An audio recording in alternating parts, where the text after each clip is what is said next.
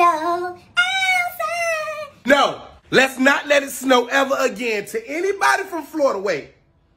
Gotta get some vitamin C in my body. To anybody from Florida that ever felt like we can handle snow, people from up north, I don't know why they complain. To anybody in Florida that has ever posted those memes about, y'all wish I was in Florida because there's a blizzard happened, do not do it. Snow is real. Snow is extra real. Snow is cold. Snow is wet. You can't, if you ain't walking like this in snow, you gonna fall down and bust your spleen. I don't know where my spleen is on my body, but I guarantee you, the other day I was in Nashville, Tennessee performing at Zanies and I fell in the snow and I knocked my period on. I ain't even got a period. I don't got a menstrual cycle. But I'm telling you right now, if I, if I if I had a period, it was knocked on by me falling. People that live in snow, y'all deserve extra tax money. Y'all deserve extra tax breaks. Men that live in snow that have to endure snow going home from work, y'all deserve to come home to some nice, warm, wet, tight, comfy clothes.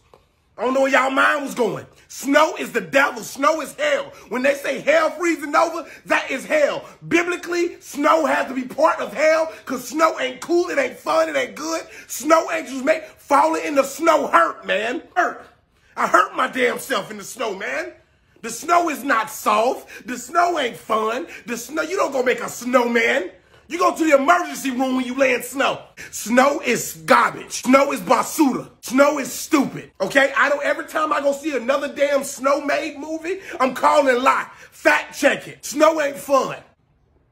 And I, I'm positive I got hypothermia. This ain't been working ever since I fell in the snow. It already have worked just a little bit like this.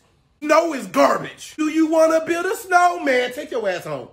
I'm to call your mama right now. You asked me to build another snowman. That's profanity.